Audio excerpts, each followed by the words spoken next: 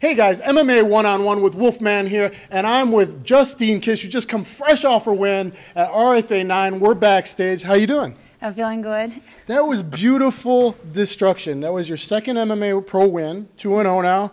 Um, and uh, against a pretty tough girl from a yeah. tough camp who trains with Liz Carmouche.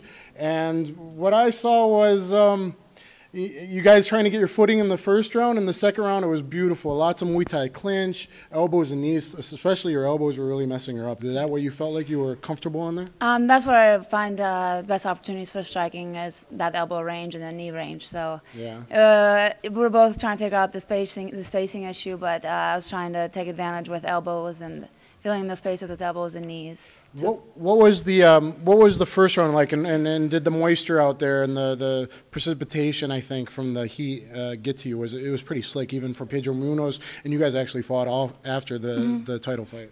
Yeah, they did save our um, our bout for the uh, uh, very end, and I realized the first uh, the first round we were both trying to figure out uh, what the flooring situation was like because it was very slippery. Mm-hmm. So the first round we were both just you know I think we were just trying to figure out the flooring the uh, the surface, and then we were getting the hang of it, and then things started picking up it, a lot. It can suck, so you can say that. It happened yeah. to me in my first fight in '97 on two weeks' notice. It's drizzling and, and it's hot and a baseball stadium outdoor show, and fighting a wrestler that didn't work out so good from a, for a kicker perspective. But um, it was still 50-50 for both of us, so we both yeah, had to figure even. it out. Yeah. Um, it really was beautiful. It was a great performance. Um, you, you were hitting her with a lot of like uppercut elbows, all kinds of different elbows against the cage. You were driving her into the cage. You had very good balance, it looked like.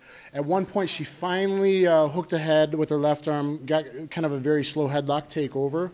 But um, you must have been training pretty good because you put the foot around, one of, at least one foot around, and, and popped her head out, got the other foot around, got her back, got the hooks in. And well, she definitely put me in some dangerous situations, and you know, props for her how tough she mm-hmm. was. So. Uh, you know, I just I, I came I moved out here to put to make up my lack of, of experience mm-hmm. in jiu-jitsu and wrestling. So I put all of my uh, training into that. How long have you been here uh, working with Black House? I just uh, moved uh, here in, uh, into Black House in April. So okay. I decided, okay, this is I have an opportunity now to train with amazing jiu-jitsu and amazing wrestling coaches, so I'm going to take full advantage of it. How much grappling and, and whatnot did you have before the move? Um, I used to do it when I was a kid. Really? Yeah. So you, fresh from Muay Thai yeah. to April, you you switched into an MMA fighter. Um, yeah, I did a little bit of MMA first, but then I really had a passion for Muay Thai, so I dedicated a lot of my training and competitions to Muay Thai. Okay. And then I decided to go back and uh, into MMA because it got it's finally in the UFC for women. So I was like, okay, this is an ideal time. You better get caught up into jiu-jitsu and wrestling now. Absolutely, that's yeah. that's wonderful. women, the WMMA is blowing up, and yeah. Um, uh, you know, Invicta's been great too, and Invicta's you know, kind of like pay-per-view online and pay-per-view on provider now on TV. So, I mean, I think there's going to be a lot of options for a girl with skills like yourself. We've seen Miriam Nakamoto, who has great Muay Thai striking Beautiful skills. Muay Thai, Beautiful, yes. right? Yes. And she's been landing it just like you did in that Muay Thai clinch, mm-hmm. uh, clinch range, you know, fighting in the elbows and framing the neck and keeping the people away from the hips. And mm-hmm. she's been able to do that, and I think you're going to be successful doing that as well. Thank you. So yeah, yeah. How, what? Tell us about your Muay Thai background. How many fights did you have? And um, well, with all of my competition experience, I've had about 20 plus fights now. Um, with MMA, not as much. I've touched uh, professionally a little bit with boxing, kickboxing, and uh, MMA, and of course Muay Thai. But um, now I really want to catch back up on uh, mixed yeah. martial arts. You had a Muay Thai title. Did you get? Yeah, I won my first uh, world championship, world title bout in uh, Phuket, Thailand, mm -hmm. and that was for Sinbi Muay Thai and uh, and at Bangla Stadium. That's that's that's awesome. And then, did you have any amateur MMA fights before your two pro fights? I had a few, about three, about three or four, I believe. Okay. And they were all wins as well. Well, well that's great.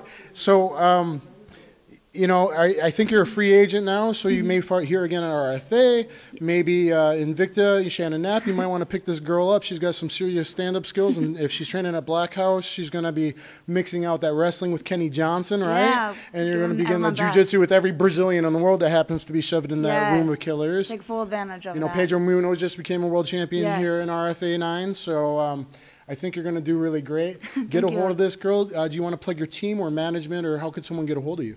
Um, they can find me on Twitter okay. um, or Facebook, all of the social media. Just under your your real name. Just under my name. They can search my name, of course. Yeah. All right, guys. I'm Dan the Wolfman. You guys go to prommanow.com for all your information. Please subscribe to my YouTube page. It makes me feel happy inside.